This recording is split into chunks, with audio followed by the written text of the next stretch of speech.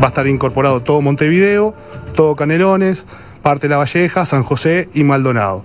En total es un área total este, por seccional policial de, de 800.000 hectáreas.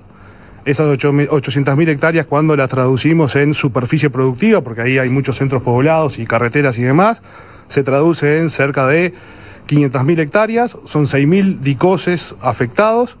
Eh, y bueno, el foco de esta emergencia agropecuaria va a estar eh, sobre todo los productores familiares, que es un grupo que, eh, se ha venido priorizando en el, aterrizaje de políticas públicas, y también productores, este, vamos a ampliar un poco esa definición a productores, a pequeños productores que son realmente los, que están pasando situaciones más complicadas. ¿De dónde vienen esos, esos, esas ayudas? Vienen a partir de rentas generales de un fondo de emergencia agropecuaria, que hoy se ubica en torno a los 8 millones de dólares, dependiendo del tipo de cambio que uno le ponga a, ese dinero.